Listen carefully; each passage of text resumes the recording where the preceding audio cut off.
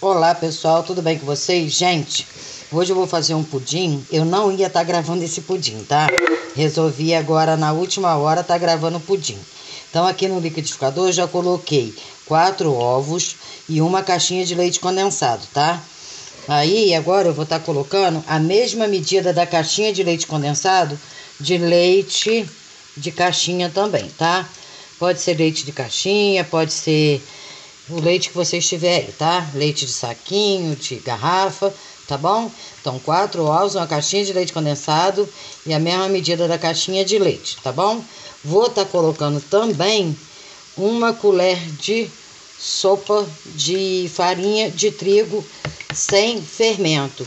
Gente, essa é a minha maneira de fazer o meu pudim, tá bom? Aqui também vocês quiserem estar tá acrescentando chocolate, vocês podem estar tá colocando Queijo ralado também vocês podem fazer de queijo ralado, tá? Vocês quiserem botar um saborzinho aí no pudim de vocês, fica a critério, tá? A critério e a gosto. Então agora eu vou levar isso, essa misturinha aqui para tá batendo por uns 5 minutinhos. Daqui a pouquinho eu volto com vocês, mostrar como que eu vou estar tá assando esse pudim aqui, tá? Bom, pessoal, aqui a minha calda do pudim já tá pronta, tá? Eu coloquei uma xícara e meia de açúcar e uma xícara de água. Deixei caramelar o açúcar, depois pus a água e não mexi mais, tá bom? Então aqui tá a minha calda pronta. Pessoal, como eu falei, que eu não vou assar esse pudim, que eu ia mostrar como que eu ia assar. Vou assar aqui em cima da boca do fogão, dentro dessa panela aqui, tá? Coloquei um pouco de água nessa panela aqui. Depois eu vou colocar a minha forma com a massa do pudim aqui.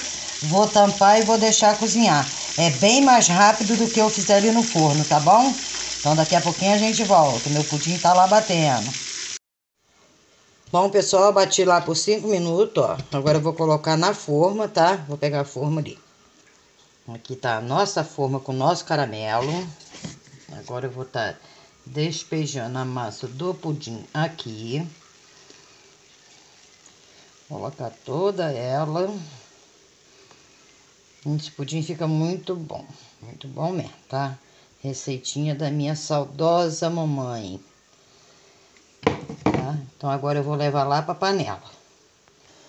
Bom, pessoal, eu vou colocar aqui uma folha de papel alumínio, tá? Pra tá lacrando mais aqui, pra não correr o risco de pegar, de pegar a gotinha, tá? Já coloquei o papel alumínio aqui, agora a gente vai levar pro, pra panela lá. Bom, pessoal, coloquei aqui, tá? A água já tava meia morna. Agora eu vou estar tá colocando essa tampa da panela aqui e vou deixar cozinhar, tá? Assim que ele estiver pronto, eu volto com vocês e digo quanto tempo que ele ficou aqui, tá bom? Gente, essa panela aqui é do amigo Martins aí, tá? Me emprestou aí no dia do meu aniversário, mas ele ainda não veio buscar ela não, tá bom? Então a panela não é minha, não é dele, tá bom? Só pra deixar registrado aí. então, até daí a pouco. Bom, pessoal, o pudim tá aqui, tá? Ficou pronto. Ficou 30 minutos ali na boca do fogão ali, tá? Na panela. Agora eu vou estar tá desenformando ele para mostrar para vocês, tá bom?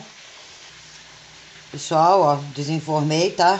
Coloquei aqui nessa bandeja, tá bom? Então ele ficou assim, tá? Tá um cheiro bom aqui, gente. Ficou bem firminho. Ele ainda tá um pouquinho quente, tá? Tá morninho ainda. Cortar um pedacinho aqui. Vamos... Ui! Olha, gente, que espetáculo. Assim que ele ficou, ó. Tá vendo? Ele ainda tá quente ainda, tá saindo fumacinha, ó. Ficou assim, tá? Então, gente, a receitinha de hoje é essa, tá? Pudim feito da minha maneira. Espero que vocês gostem. Quem gostar, deixa aquele like lá pra mim. Um comentário. Quem não for inscrito, se inscreva aqui no meu canal, tá? Né, fazer parte aqui do meu jardim. Sempre vai ter uma receita, um passeio, sempre vai ter uma novidade aqui para vocês, tá? Em breve vou trazer bastante novidade aí, tá bom? Então, esse é o nosso pudim. Fiquem todos vocês com Deus e até um próximo vídeo, se Deus quiser e Ele há de querer. Tchau!